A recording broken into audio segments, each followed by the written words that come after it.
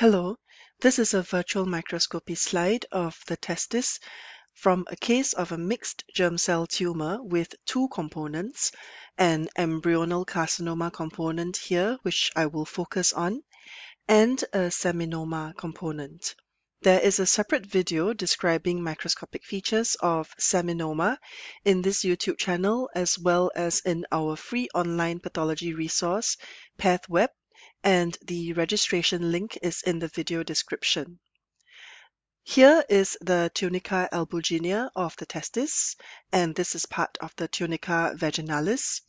And this is the region of the testicular parenchyma, which is completely replaced by germ cell tumor. In this more solid area, we have the seminomatous component. And in this area, which is a little bit more pink or eosinophilic due to necrosis, this is the area of embryonal carcinoma. I'm going to briefly recap the features of seminoma, but the main focus of this video will be on embryonal carcinoma. In seminomas, we have islands or sheets of relatively uniform polygonal cells with central round nuclei, sometimes prominent nucleoli, and the cells have abundant, very clear appearing or vacuolated cytoplasm. These cells contain abundant glycogen. Also, admixed with the malignant cells, we also have these small round nuclei, and these are lymphocytes. And lymphocytes are very frequently seen admixed with the tumor cells in seminoma. Looking at low magnification, we can draw a rough line of demarcation between the seminomatous area and the embryonal carcinoma area. And here is the rough line of demarcation. Let's take a closer look at the embryonal carcinoma area. Usually there is quite a mixed architectural pattern. We often have tubule formations or gland formations that quite closely resembles adenocarcinoma. We can also have some papillary areas with fibrovascular cores as well as more solid sheet-like areas. So often we have admixed components of solid areas, glandular areas, and papillary areas, as we can see here.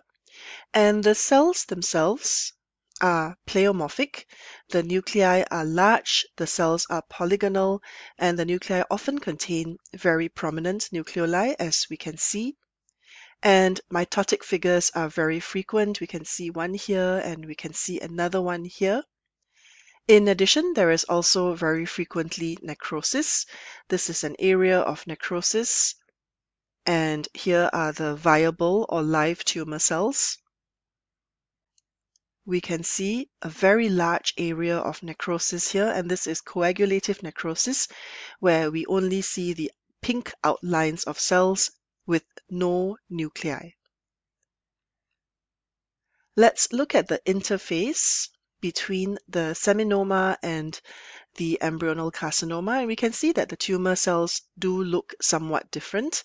On the left, we have the sheets of quite uniform seminoma cells, where the cells have very pale cytoplasm.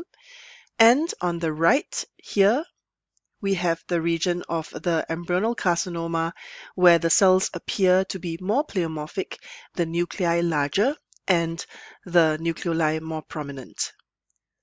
Another good way to delineate the different areas of different germ cell tumors is by immunohistochemistry. And one of the markers that is positive in embryonal carcinoma but negative in seminoma is CD30. And here is a section on which the immunohistochemical marker CD30 is applied. And we can see here that this whole area is brownish, meaning that the stain is positive, and this is the area that corresponds to the embryonal carcinoma, whereas this entire area of seminoma is negative. Taking a closer look, we can see a very sharp demarcation between the more pleomorphic positive staining cells of the embryonal carcinoma and the more monotonous negative staining cells of the seminoma. Let's learn a bit more about embryonal carcinoma of the testis. Embryonal carcinoma is a malignant germ cell tumor of the testis, which usually occurs as part of a mixed germ cell tumor. Occasionally, embryonal carcinoma can be pure, but more frequently it occurs together with other germ cell tumors, for example, seminoma, yolk sac tumor, teratoma, or choriocarcinoma. Clinically, the patients usually present with a unilateral painless testicular mass. Sometimes there may be some discomfort or a dull aching sensation in the scrotal or pelvic region. And also, sometimes these patients may present with metastatic disease, for example, hemoptysis if there are lung mets, or back pain if there are bone mets. Grossly, the testis is enlarged and usually there will be a gray to tan mass.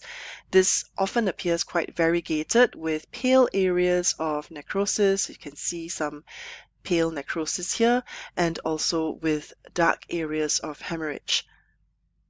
In a mixed germ cell tumor, there may be a more heterogeneous appearance. For example, this is a case of mixed seminoma and embryonal carcinoma, so this more variegated looking area is the area of the embryonal carcinoma, and this more solid, pale, fleshy area is the area of the seminoma.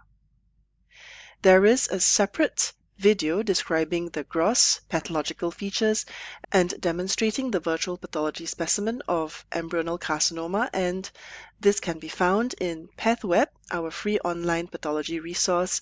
The registration link is in the video description and it is completely free. Here is another example of embryonal carcinoma, and this is the uninvolved testicular parenchyma. This is the region of the tumor, which is a whitish, fleshy mass with these dark areas of hemorrhage. And here we have the epididymis. Microscopically, as we saw, there are several growth patterns. There are solid sheet-like areas, there are glandular areas, and also papillary areas and lots of areas of necrosis, as you can see here and here. The cells are very pleomorphic. They are large. The nuclei contain prominent nucleoli and there are frequent mitotic figures. We can see two mitotic figures here. Also very often we will see areas of necrosis as you can see here. Lymphovascular invasion is commonly present in this tumor, and also any adjacent seminiferous tubules in the testis may sometimes show germ cell neoplasia in situ.